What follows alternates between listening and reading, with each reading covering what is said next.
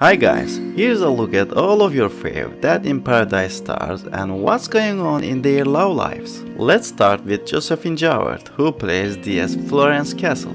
According to rumors, she was in a relationship with Charles Temple. He's a French actor. They are often seen in many places together, but there are no authentic sources that confirming their dating. This rumor is baseless. She might be enjoying her single life and focusing on her career rather than searching for a boyfriend. Let's move on to Ralf Little who plays the Neville Parker. Ralf has been engaged to American screenplay writer Lindsey Ferrentino since September 2018. He recently admitted their wedding has been put on hold due to the pandemic and his filming schedule. Previously, he was in a relationship with Mary single other co-star Miranda Raison. Elizabeth Bourgine, who plays Catherine Bourdet. She's a 67 years old married woman. She tied the knot a French director, Jean-Luc Minch. Moreover, the couple has a handsome son, Jules. They are spending lots of time together and enjoys their company in any situation.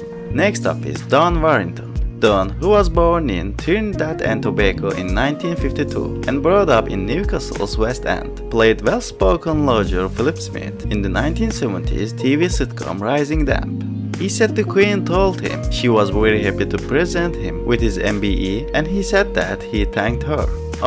Don is married with two sons Archie and Jacob, but he has never divulged his wife's identity.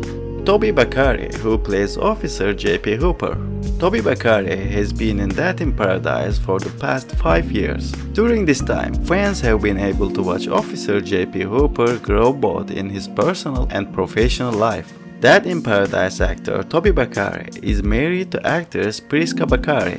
According to IMDb, so far she only has one credit to her name which is for BBC's A Midsummer Night's Dream as Hermia. She starred in the television movie alongside Matt Lucas, Richard Wilson, Elaine Paige and John Hannah.